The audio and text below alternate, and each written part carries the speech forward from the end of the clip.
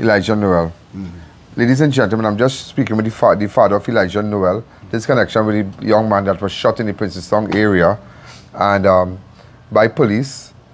The, he, he was diagnosed with um, schizophrenia and um, it's very, very sad, very, very sad. And that's why I came down here to, to speak with the dad. And you're going to hear all on Monday what exactly happened. But this, this, this, I'm calling the commissioner to launch an investigation with this case. This, this warrants an intense investigation. You should hear.